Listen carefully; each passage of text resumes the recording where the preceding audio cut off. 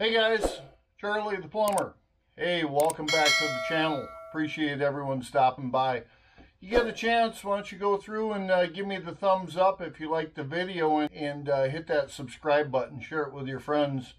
Uh, we do a variety of stuff, so we'd love to have you guys come along to the channel. But anyway, as you can see, I got a bunch of crap on my desk right now.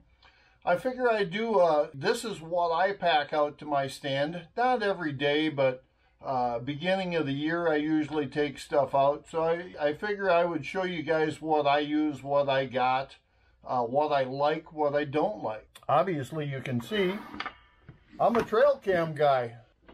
Just bought the new Cuddeback, the Verizon package.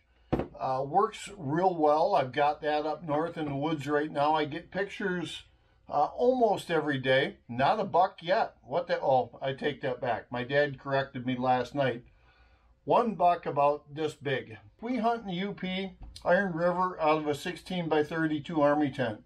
It's not like you can go to the corner store up there. It takes you an hour to get to town from where we're at. So always take extra cameras in case someone needs one, in case one breaks. So I've got a gearbox. It's like a, I'm going to call it a Ridgid toolbox from Home Depot. I jam all that stuff in there. I take two.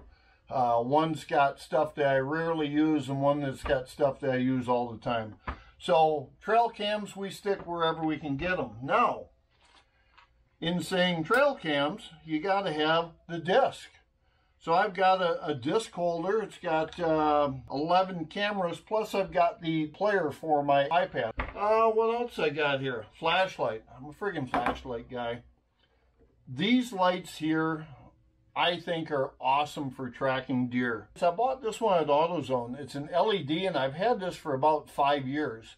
And I find that when the battery is charged and it's bright, you can see blood a mile away. So I, I really like this. I'll turn this on and see if it's not too bright. So basically you can see that, you know, it, it does cast a, a nice array when you're in the woods. Flashlight number one. My wife bought this one for me for Christmas last year. This is a tactical flashlight, but this one's got the red light on it. What I don't like about this is this big battery pack in the back.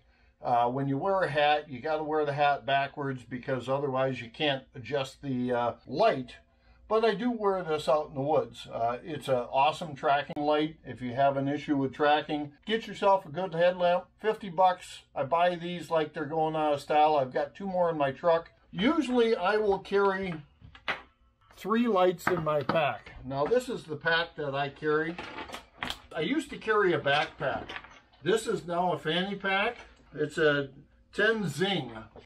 Kind of keeps it off your back.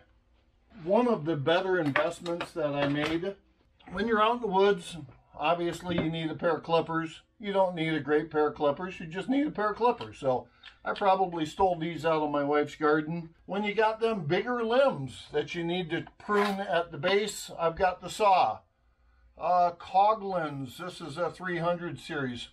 Make sure when you get your saw, you get the sawtooth. I think they're pretty much all this way now. They cut both on the push and the pull stroke. Knives. This is the one I've had forever. Gutted a lot of deer on that with that one. That one, I bought it, went out and bought a skinning knife. Got the gut hook. Uh, still got some guts on it. I use these a lot. When I process my own deer, so uh, but I usually have two knives in my bag. I have a heater. I keep this in my blind itself. This is a six pounder. I got tired of taking the one pounders back and forth. They're a pain in the ass. They're easy to carry. But one time we take the four wheeler out there, we dump all our stuff off in the Ute. If you've seen my cooking in the blinds video, this is the cast iron pan that I use. Yes, I season it every year before I go up. I've got just a little buddy heater, but this baby I've got a cook adapter up here. You can put that on there and you can put your sandwich right on there or whatever you're cooking. I've cooked Gina pizza rolls, grilled cheese, any type of sandwich you can cook on there. The wife bought me the, the small one a couple of years ago. It's brand new, haven't used it kind of get uh, where I use the old one. And then I've got, obviously, the spatula. Got to be able to scoop in there. Yeah, I wash them before the season, or at least I wipe them down. You've seen the when I wiped it down with my socks. That's fine. Don't forget, put your coffee on there. Coffee cup on there, works awesome. That's the heater. And this is the heater hose that I take. You guys know what a heater hose is, so we'll go into the pack.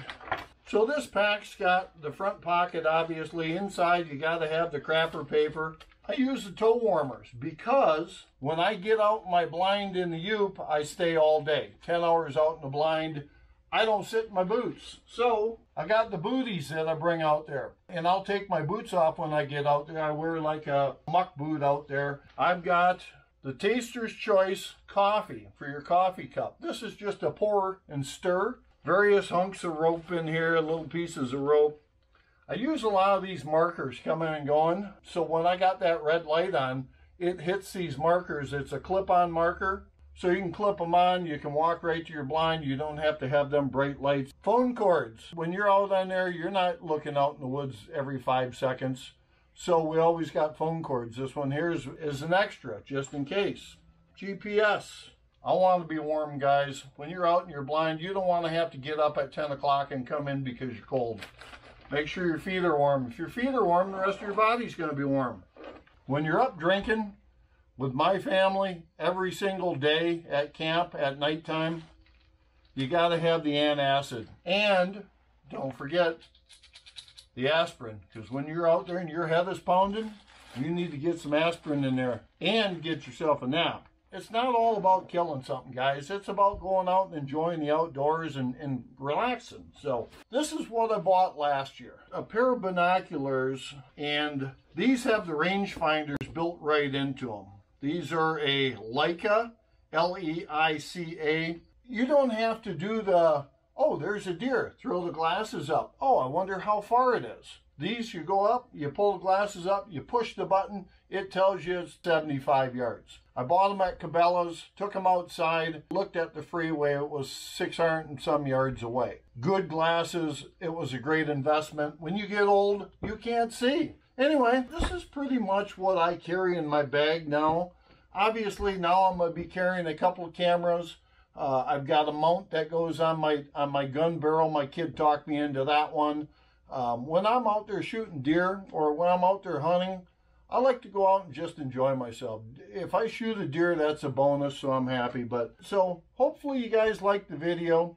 Uh, you see some of the crap I take out. What do you guys take out? What do you do in your blind? I, I want to hear about reading the book and crocheting. But I'll show you the blind maybe in the before we go up. Um, that's a little bit different animal. I've got uh, pretty much all the comforts of home, but hopefully you like the video and uh, obviously it's getting close to the season, so everyone make sure you shoot straight. Enjoy yourself. Good luck to everyone. Don't forget, Charley the Plumber, one of the few things in life you get for free. Thanks, guys. Thanks for watching. Come on back. Check out my other videos. We shoot small bucks here. Good luck.